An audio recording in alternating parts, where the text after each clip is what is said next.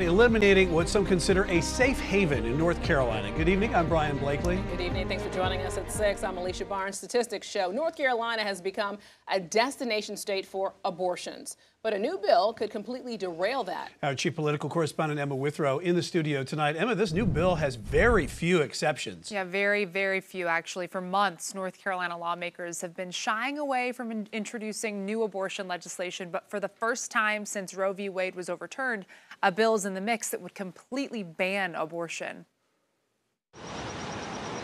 Three Republicans filed House Bill 533, the Human Life Protection Act, none of which are from our area. The bill bans abortion from the moment of fertilization.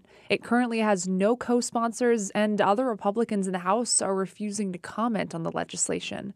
Jillian Riley with Planned Parenthood South Atlantic was willing to comment and is extremely concerned about the impact this bill could have on North Carolina. This is a total ban, either way, how, how you take it. Um, we know that the goal of the anti-abortion movement is to ban abortion in total throughout the state of North Carolina and throughout the country.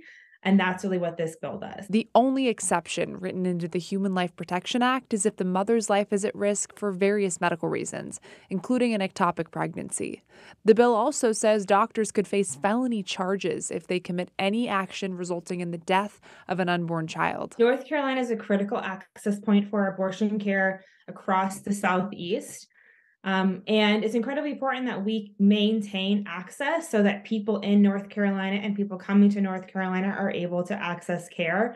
If this ban or any other ban that that were to restrict abortion access in the state, it would have devastating impacts for everyone across the state and for people coming into the state. North Carolina has the highest rate in the country of women traveling into another state to get the procedure done.